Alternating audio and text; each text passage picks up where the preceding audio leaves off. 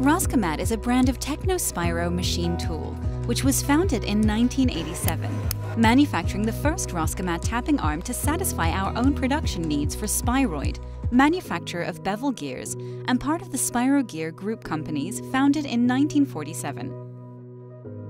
After 36 years in the market, covering the five continents with more than 85 countries, we are proud to be a reference in the market and proud to have more than 30,000 machines working successfully.